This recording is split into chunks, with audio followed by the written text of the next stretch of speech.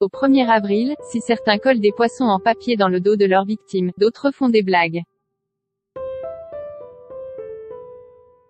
Une journée spéciale qui a donné l'occasion à la First Lady de faire à nouveau parler d'elle, et de montrer qu'elle avait beaucoup d'humeur.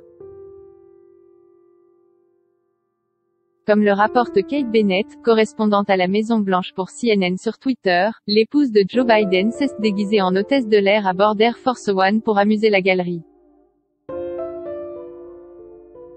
Sur un vol retour, entre la Californie et Washington, une femme aux cheveux courts noirs, avec un masque noir sur le visage, portant un badge au prénom de Jasmine a traversé les cabines du personnel, des services secrets et de la presse en distribuant des barres glacées. Surprise, cinq minutes plus tard, Jill Biden a refait le chemin en sens inverse, mais cette fois sans perruque.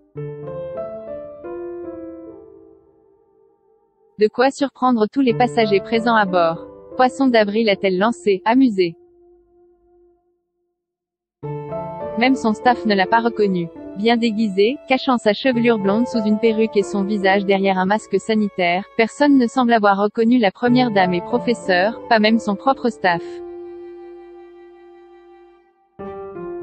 Une petite blague qui a beaucoup amusé les passagers, et surtout intrigué Kate Bennett.